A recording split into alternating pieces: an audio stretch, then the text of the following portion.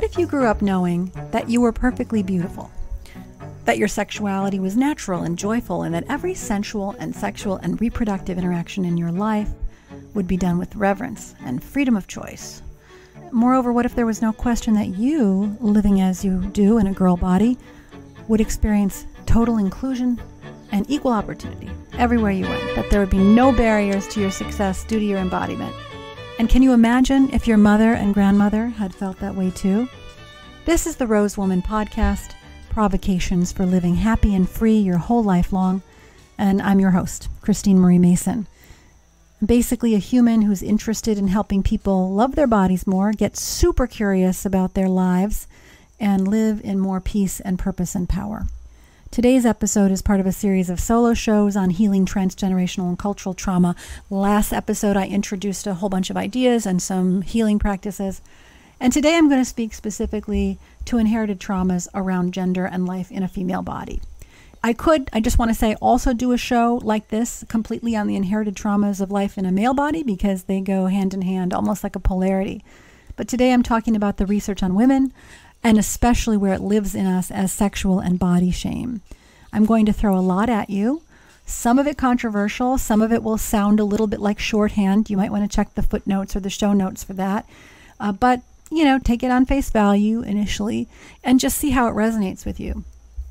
Now, depending on your age, you might have had different experiences of growing up in a female body. I was an American woman growing up in the 70s and 80s, and I experienced a ton of confusion, both in the short term, like short term suffering and shame, and long term negative consequences from a culture that both shamed women's sexuality while at the same time rewarding sexual attractiveness. There were so many unwritten rules and almost no direct guidance for me or my friends. You know, we, we were living in the suburbs of Chicago at that time, I think. I had also been lived part of my teenage life in Iran where women were shrouded in chador. And neither of those environments gave me much good information, not sex education from a factual and scientific standpoint, other than here's your period and here's how conception happened it certainly didn't do anything to give me an understanding of my sexual energy or this incredible upwelling of power that I felt coming into adolescence, and nor did it give me any understanding of the emotional life that accompanies dating and sexual interaction and the longing for connection. For me, that combination led to early pregnancy and teenage motherhood. I had three kids by the time I was 22 with my sweetheart I met at 16, my husband. And throughout my 20s and early 30s, I went into the world of big business and advanced education. And even there, in these places that seem so rational, I continue to navigate being a sexual creature and dance around what, in the parlance of today, would be considered bias and violations of consent at every turn. I didn't have a word for it then, so I thank the women who have come since. And hardest, of course, was the internalized shame that I carried. But then in my mid 30s, I began to seek freedom, resolution, and peace in this area of my life, doing deep forgiveness work, learning about sex positivity, sexual design, body positivity, neo tantra, and more. And now, as the mother of six children, three boys and one daughter and two stepdaughters, I'm really committed. I'm I'm very committed to passing on my wisdom and not my suffering in this in this area, so nobody has to live through what I did. And I hope that this extends to you. So even today, I want to say, five decades since what was called the sexual revolution of the 70s, the surveys and data that I have gathered show that my customers in the US and Canada, 25 to 80, in all states, urban and rural, all races, all creeds, cisgendered and lesbian, bi, transgender, and women in general, still have tremendous knowledge gaps and traumas and shames around their bodies and sexuality. It creates totally unneeded health issues, a lower quality of life, psychospiritual and emotional distress, unsatisfactory sexual experiences, and even vulnerability to sexual violence and predation. I feel that as long as sexual taboos exist and are reinforced in all of these institutions we've created education and media and economics and culture and politics and medicine and as long as these stories live unchallenged in us, in women themselves, the suffering will continue. The shaming of women, between women, by women to themselves, and by men is being unwound. It is happening. And I'm going to talk a lot about that today. And I know that when it is unwound, everyone will benefit. Now, you probably know by now the issue mattered so much to me that I started a women's intimate wellness company, Rosebud Woman, and the company provides intimate skin and body products along with this podcast and books and blogs, all aimed at changing inherited and unhelpful belief systems around the body and sex. For example, when I wrote the invitation to daily intimate self care, we did an accompanying free course with guided prompts to help women parse out the hidden beliefs about their bodies. Questions such as Who does your body belong to? Or what are your beliefs around pleasure? Or what do cultural beauty standards do to you? The prompts were based on research around unhelpful beliefs and led to a lot of self examination. I'll link to that in the show notes in case you want to do a deeper investigation into what's living inside of your unique brain. And the other thing I want to highlight is that it's not just about what men do to women, about men doing something. The way women are entrained into the culture is through their mothers and grandmothers and other women a large portion of the struggles between mothers and daughters that I've witnessed, they aren't about the personal conflict, although it can seem that way, but about the enrollment of the daughter into the mother's worldview and frame, which isn't of itself a product of many, many generations of defended sexuality, objectification, indirect and sideways power achievement, and a lack of general education on alternative ways to be. So, as a girl attempts to break free of the stories that are in her face, fear and conflict often arise. So I feel like a big part of healing collective trauma in the feminine is to do forgiveness work and heal the maternal line. Again, that's an entire subject in and of itself. I'll also link to a maternal line forgiveness practice in the show notes if you're interested in that. So I want to move into the next part of the episode, which involves me getting a little history teachy for a few moments, okay? I'm going to share a brief background so that we can all understand the extent of the immunity to change in the culture that we're up against. So, there are multiple long arc narratives at work in the current attitudes towards women and sex. And the first is probably obvious to everyone it's patriarchal bloodlines instead of matriarchal. So, in father ruled, patriarchal, capitalist, and clan or individualistic societies, the inheritance is determined by the bloodline. In this kind of culture, men seek dominance over female reproductive capacity so that they can ensure that their own child, not that of another man, will receive legacy asset control, including the family name, for example. But this is not the case in many matriarchal societies where the children are cared for by many of the men of the group. And in one example, any man who has ever copulated with a woman is considered to be one of the child's many fathers. So patriarchal bloodlines still with us still behind a lot of the narratives around women's freedom sexually. And the second narrative, which kind of grows out of that one, is the fallout of the possession of women, which created a second class citizenship for half of the world's population. A man's interests were presumed to represent a woman's interests. So, for thousands of years, women had no independent right to vote, few civil or economic rights. And in some cultures, and even today in some cultures, sexual transgressions by women were punished by expulsion from the community or other um, harms, even even death.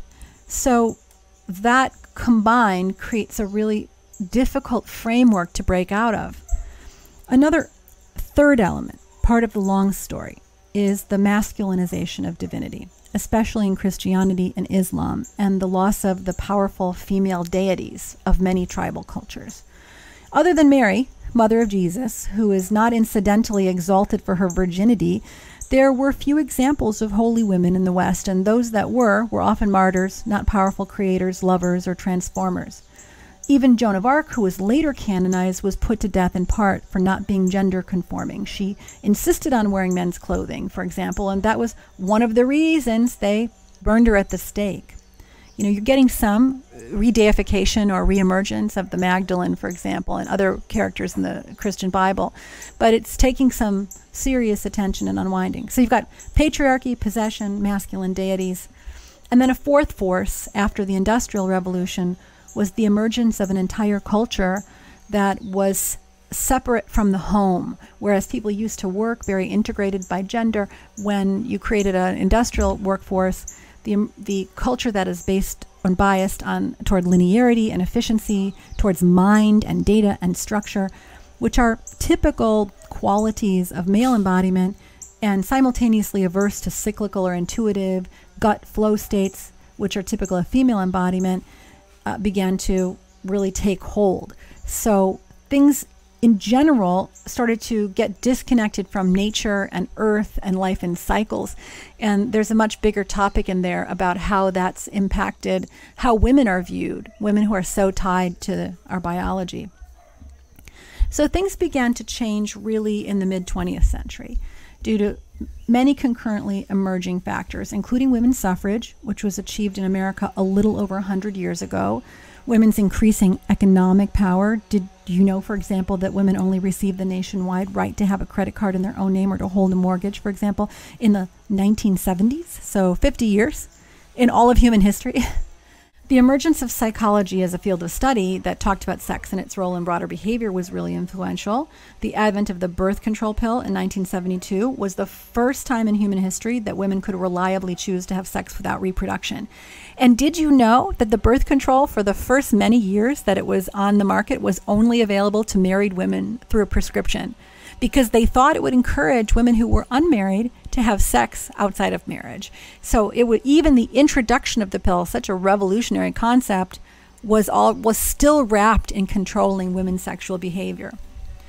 So all of this was happening, and out of it, you get this sexual revolution of the 60s to the 80s when people really first began to celebrate the erotic in public. And during this time, and even slightly earlier, you started getting milestone publications that were impacting the collective mind. Like you had the Kinsey Report, Our Bodies, Ourselves, The Joy of Sex, along with magazines like Playboy and Hustler, which began the mainstreaming of what today we would call porn, where you were showing images of this vital and important part of people's lives. Unfortunately, the way that it was done was highly focused on objectification of the feminine, but you know, it was starting to get out there that we could talk about sex. So we began to shift. Uh, but like all forward movements, there was a counter movement, and that counter movement came in part in the 80s uh, due to the AIDS crisis and the emergence of the purity movement in the evangelical church. So the sexual revolution, it seems, had moved too fast for the culture to absorb the impact. Sexual freedoms were gained without changing the structures in which they lived, such as the container of marriage and monogamy, or child support, or without examining the underlying religious shame, what I call pathological religiosity, which is separating and punishing, topic for another time, uh, without changing healthcare biases or without really addressing education. So you don't have a lot, even today, uh, education in the relational aspects of sexuality. So sex changed, but often the inner life of women and the culture stayed stuck. And the dissonance in that is still showing up today in things such as common and massive trolling and slut shaming of women who have a public facing persona. It shows up in the ongoing battle uh, to regulate women's reproductive life.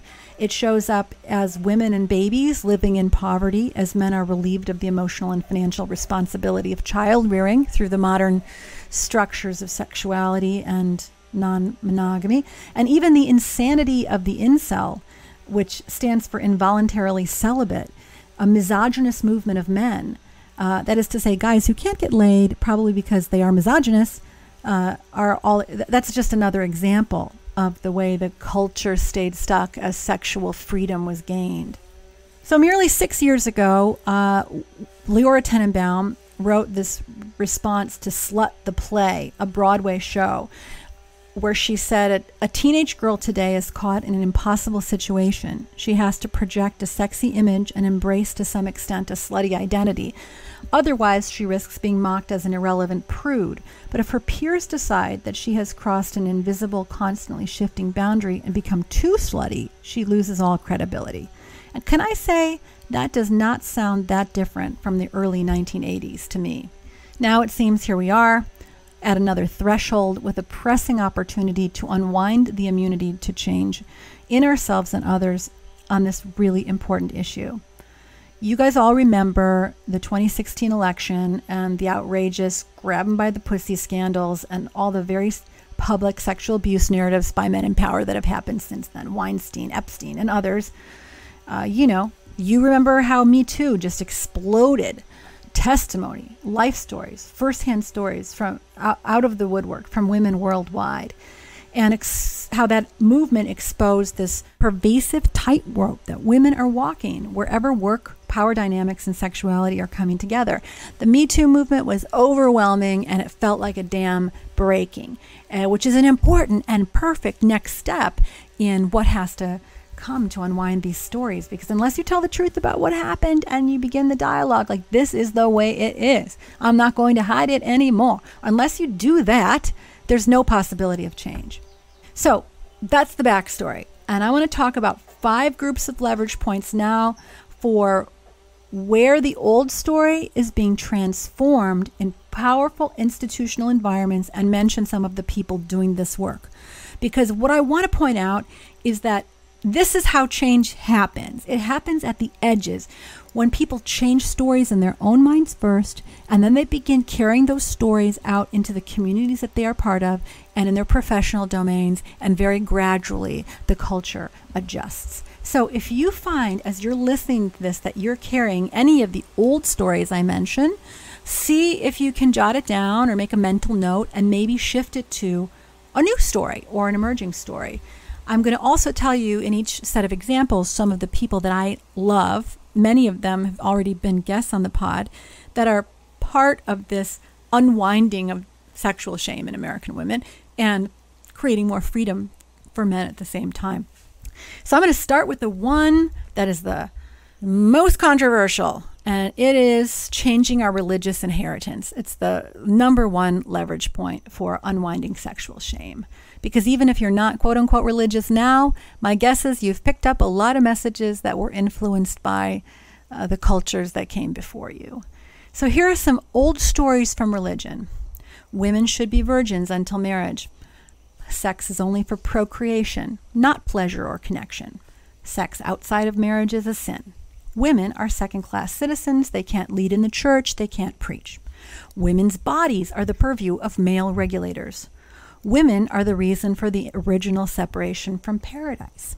Those are some of the stories. You can probably think of a lot more. I mean, the Madonna whore thing, I didn't even include in there, or Mary and Martha. You know, sort of the two models of how to be a good woman. The new stories that are coming out in many parts of the religious world are our bodies are nature, and as such are perfectly ordered already, thank you. Sexuality is natural and desirable. Pleasure and connection are God's plan. Sacred sexuality is another piece of this that the body and sex can not only be acceptable, but in and of themselves are a pathway to experience divinity and connection. That consent and sovereignty as a woman replace others' authority and control. We see a lot of emergence in the new story of female clergy, the Magdalene movement in Christianity, the emergence of spiritual but not religious to counteract some of the things that have happened to women in the frameworks of the patriarchal religions. And then you see a huge movement reclaiming tribal, pagan, and other goddess traditions happening everywhere. I'll tell you a few people that, you know, we mentioned before I mentioned Reverend Nadia Bolz Weber and a host of other mainstream Protestant and evangelicals who are leading the movement to unwind purity culture. I've got a whole piece on that. She wrote a book called Shameless, very, very good. Examples um, that I can think of from people who have stepped away from the mainline churches they were part of are people who, like Nicolle Hodges, who we interviewed last month, and many others who are leading movements to reimagine virginity not as something that can be taken or lost, but rather just speaking to the gradual development of sexual agency. She calls it a sexual debut, part of an ongoing process of self acceptance and self love and learning like who you are in the sexual domain through experimentation as you become an adult in full. She said something like, virginity you know no what, this is going to sound really crass but i'm going to say it anyway nobody's dick is important enough to change a part of my identity and the idea that you're a virgin or not a virgin is exactly that. Did you get penetrated? And if you are, your identity has changed. And that whole story is one that Nicolle, for example, is trying to unwind.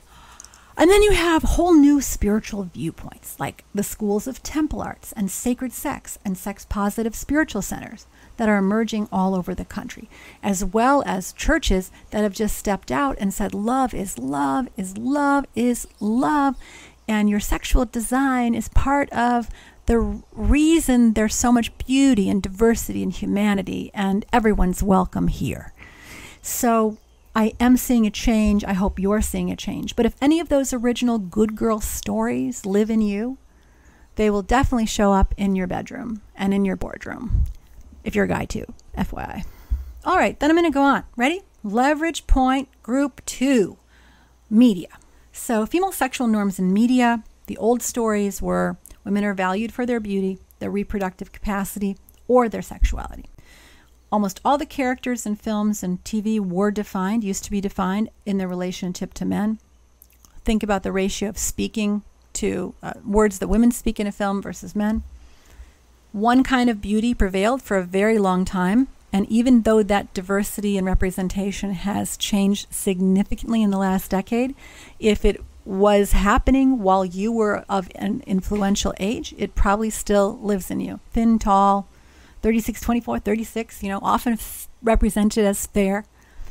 Another thing that formed our patterned impressions of what women could do in the media were cinematic tropes that objectified women, usually with some dimension of loose versus contained sexuality at play.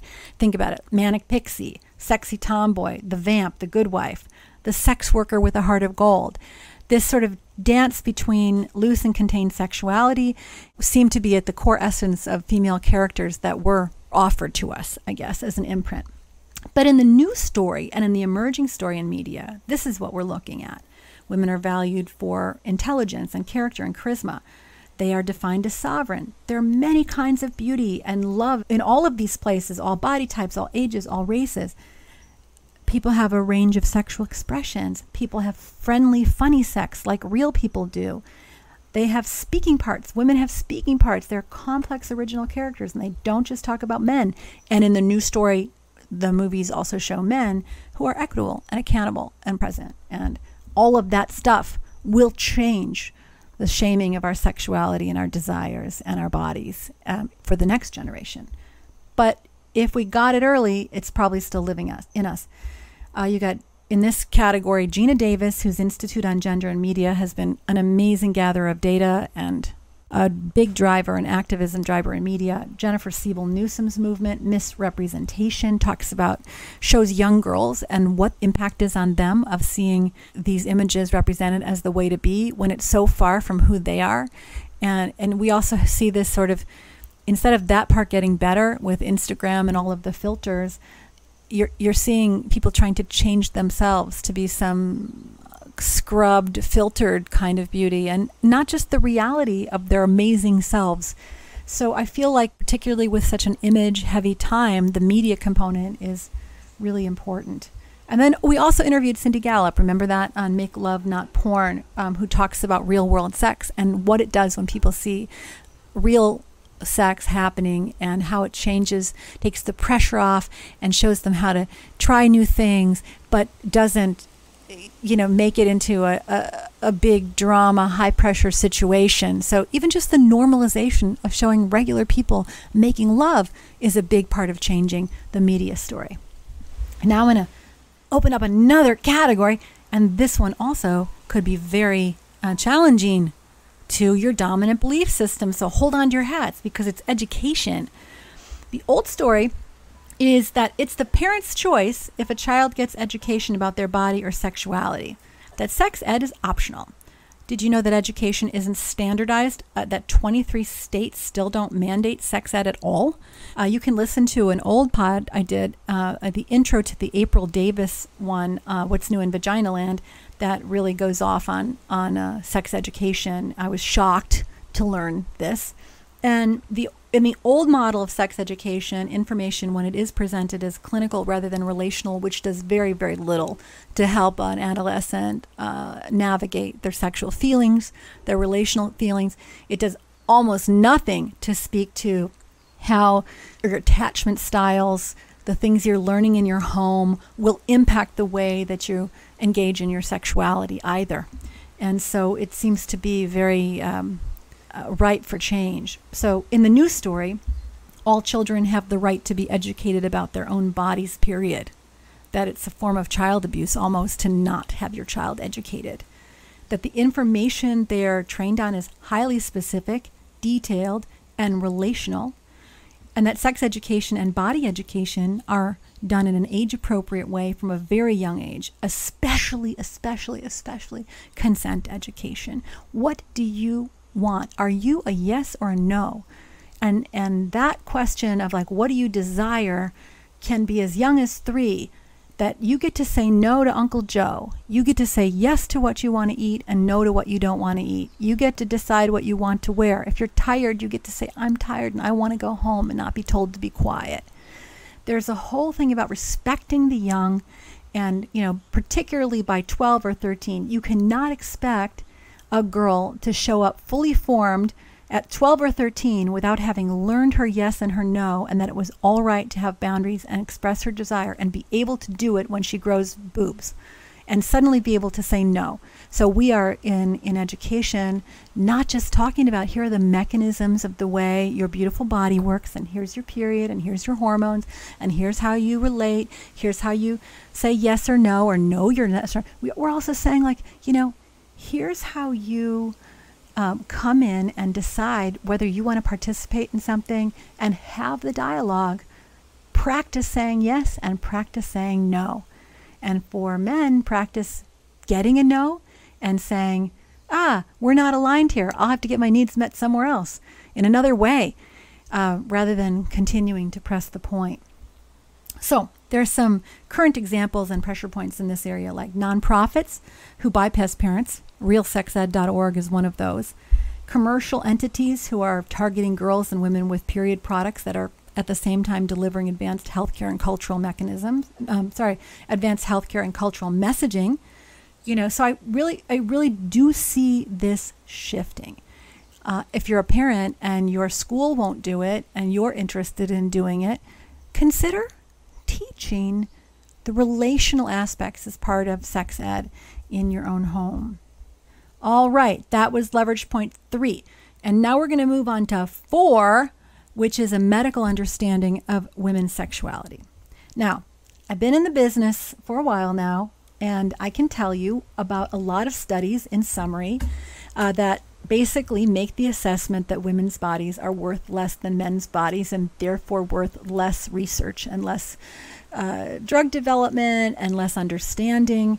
Um, insurance. Do you remember when insurance was could actually say we don't cover childbirth? That that was like an add-on or something you had to fund yourself. Uh, when it's literally half of the half the male and half the female that are responsible, but the women bear the whole the cost not a forward thinking collective attitude towards how to bring forth a healthy next generation of children. Uh, another topic. Um, the old story was also that women were perceived as more dramatic when they report pain. Women's pain is often dismissed, uh, was literally called hysteria, uh, which is hysterectomy. It's all like womb related. Female sexual dysfunction has a tremendous differential. Male arousal disorders have 34 drugs, and women's have one and limited funding. And FSD, or female sexual dysfunction, is not even considered a treatable condition by insurance for women today.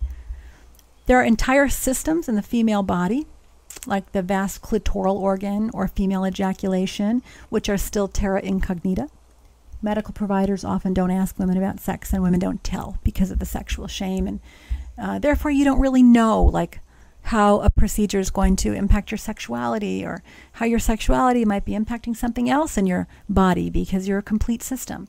But in the new medical story the new story let's just shift some of those. Women are sovereign and their bodies have equal value as male bodies. That sexual well-being is considered a part of women's overall health and it's an important medical reality to take into consideration when treating anything else. For example, you know that cancer drugs have a significant deleterious impact on women's ability to have sex after the treatment.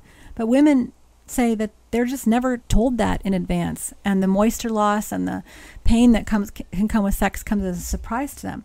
How many women who are on antidepressants know that it dries up the vaginal walls or how it impacts their overall desire for sex?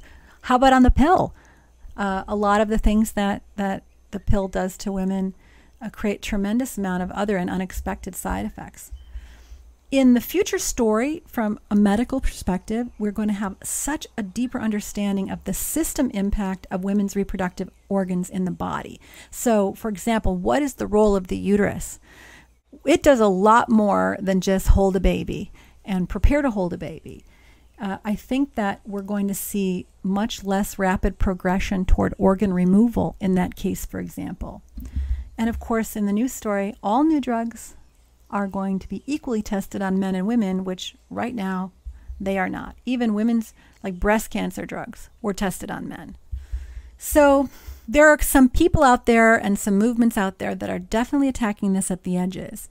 There's the denormalized movement, where you have patient advocates who get out there and say, don't normalize your pain or your lack of satisfaction in the sexual arena. That uh, you should take that seriously and it's worth treating. You've got things like ISSWSH, the Congress on Women's Sexual Health that we're part of. You've got the emergence of an entire category of service providers to surround the doctor. Uh, paramedical services like pelvic floor therapists, sexual healers, sexuality coaches, sex therapists that have emerged. We have an episode on that as well. You have trauma informed medical first responders that are happening now for sexual crimes. So instead of throwing a woman who's just been traumatized, or a man if he's been the victim of a sexual crime, into an interrogation or into a clinical setting, those crimes are met by trauma informed specialists, which is how we should give care. We see a movement in the public sphere of using anatomically correct language, especially through social media, where instead of just saying, lady bits, we say vulva and labia and Hart's-line, Bartholin's glands, and all of that stuff. And we know what they mean. We don't just say them, we know them and know where they are and know what they do and how they feel. And then we also see the emergence as a, in medicine of an understanding of the collective trauma of sexual shame and sexual abuse and body shame and gender violence, all of that stuff that's happened over the many thousands of years that's, you know, kind of come into us, locked into us um, are are a part of mental health now. That we take that into account when we look at a woman's mental health. So those are all great, big culture stuff. And I'm going to go into the last grouping now of lever points. And this is the one that I think we have the most control over, and it's our own internalized beliefs, adherence, or acceptance of cultural norms that, you know, don't really help us. So the old stories, old stories. Your body belongs to men, and it's an object for men. Do you like that story? I don't think so. You shouldn't like sex too much. That's another old story. We have inherited this rape culture. Men want what they want, or boys will be boys, and kind of looking the other way. It's just the way it is. Get over it. Uh, bystander culture. Keep quiet. Don't rock the boat.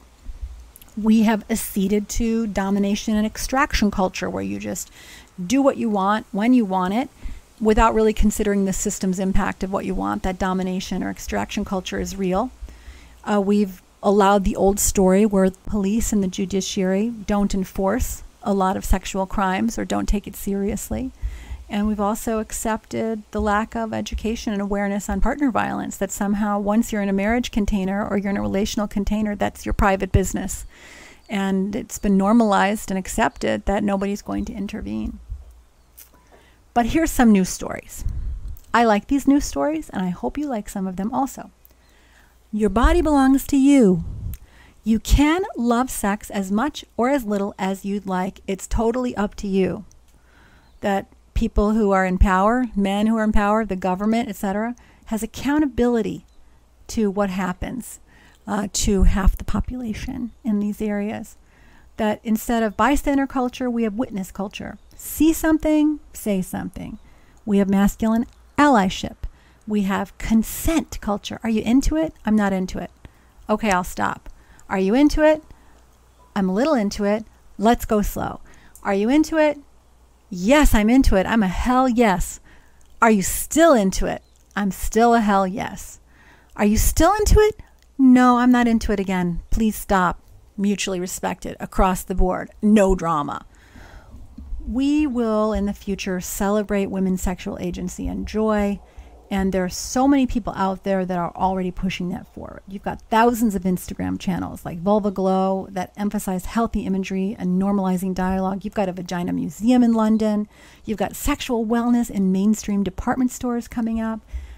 You've got books like Pussy or Reclamation and other movements like that that have been helping women make body contact with the part of themselves that's truly in the sort of goddess frame. You see where I'm going? There are other things that we could explore as levers for change, bias in economic structures, etc. But when a system is ready to be dismantled, like this one now, unwinding sexual and body shame in American women, uh, getting unhooked and unstuck from the stories that have been in the culture for generations that our mothers gave us, that our grandmothers gave us, out of their pain and out of their twisting to fit in where they couldn't have power. When a system like this is ready to come down, we can each stand from inside of our own place in it and pick one action or pressure point and then find allies in other places in this system. And it's together that we evolve ourselves and cultures and institutions. It has been very helpful for me during this research to remember that women in the West today are at a point where no women have ever been, and that this great unwinding that we're doing will likely take several more generations uh, to place myself firmly in the flow of history, not want it all yesterday, to see it clearly and move with it apace on a daily basis. The United Nations says it will be another hundred years for women worldwide to have equity at the current pace. And I'll tell you, this longer arc perspective does help me from getting discouraged.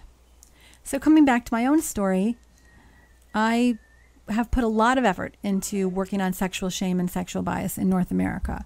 We invest in speaking to women directly. I pay to reach them through advertising. I continue the dialogue with newsletters and podcasts on this topic.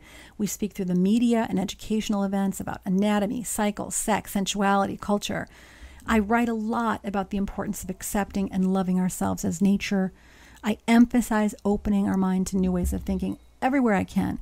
We also educate on trauma informed sexual expression. I think that's so vital because 35% of women have had some form of sexual trauma.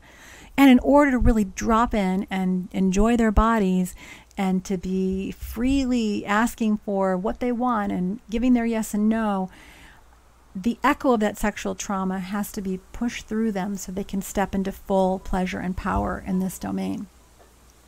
So, this whole analysis has been a little bit of a sort of a big systems picture, very big picture it, it's helped me to see how complex the fabric is of change and how many unexamined beliefs and biases and power structures are at work in the world in each of these separate areas.